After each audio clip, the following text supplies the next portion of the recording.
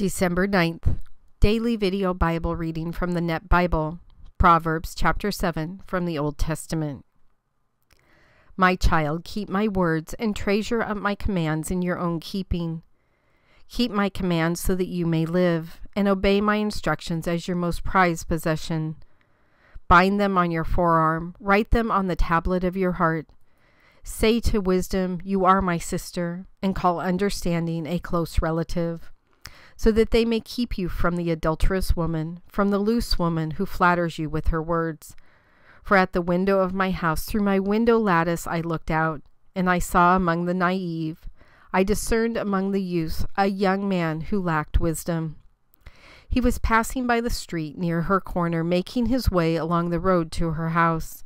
In the twilight, the evening, in the dark of the night, suddenly a woman came out to meet him.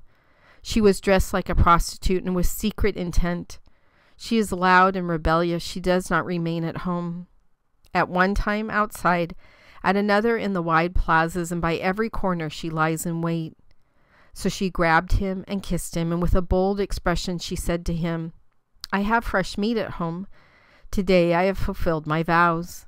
That is why I came out to meet you, to look for you, and I found you. I have spread my bed with elegant coverings with richly colored fabric from Egypt.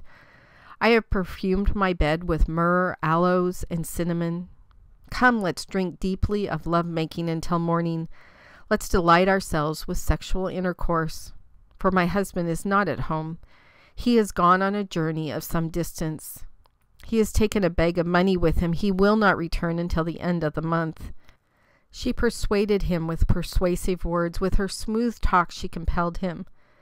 Suddenly, he went after her like an ox that goes to the slaughter, like stag prancing into a trapper's snare, till an arrow pierces his liver, like a bird hurrying into a trap, and he does not know that it will cost him his life. So now, sons, listen to me, and pay attention to the words I speak. Do not let your heart turn aside to her ways. Do not wander into her pathways. For she has brought down many fatally wounded, and all those she has slain are many. Her house is the way to the grave, and going down to the chambers of death.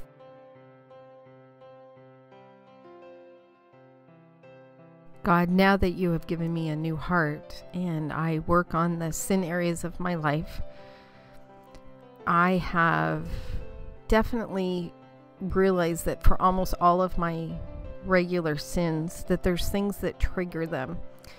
Uh, could be situations uh, could be places it could be people uh, it could be emotions. Uh, just or, or a variety of those things. And this proverbs talks about this even though in this case it's talking about having uh, sex with a married woman uh, i think it applies to a lot of things of being intentionally in a place that could cause you to sin. If he wasn't on that street corner, he wouldn't have seen her. She wouldn't have been able to call out to him. And I think about our other sin areas or our idols. And are we intentionally putting ourselves in places where it's almost a little bit easier to sin? Are there certain places we go to on the internet, certain people we talk to? Uh, certain places that we go to and, and do certain things that trigger these types of sin areas. And if we stayed away from those, would it be better? Would we feel stronger in, in being able to stay away from those things? Uh, for me, I can only speak for me. For me, God, I know that that works. Um, that if I'm not directly being confronted with those situations, uh, opportunities, uh, that for the most part, I, along with the strength that you give me, am able to say no.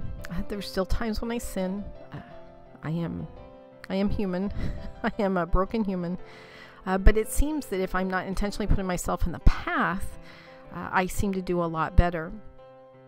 God, I just ask that you help everyone who is listening to this video to search their heart what are those areas of their lives? Is it financial? Is it business? Is it relationships? Is, is it sex? Is it drugs? Is it alcohol? Uh, is it pornography? Is it violence? What is it that is causing them to be in these situations that cause them to sin?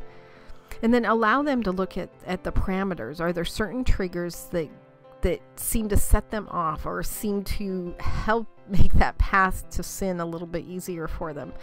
Um, help us identify those areas, God, so that we can remove them or intentionally not go to that particular street corner uh, anymore.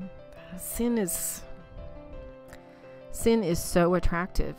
I don't know how else to put it. And anything that we can do to keep our ourself out of harm's way, I think, is hugely beneficial.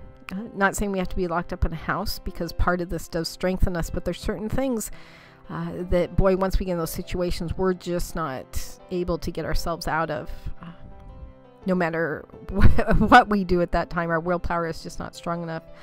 God, we also call on your strength during those times that if we are to focus on you, focus on your words, focus on your um, actual voice in our heart, then that is the strength we need to say no to those situations, to move on from those situations, uh, to not participate in those situations.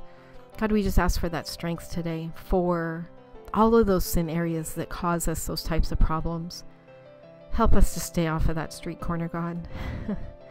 In your son's name I pray. Amen.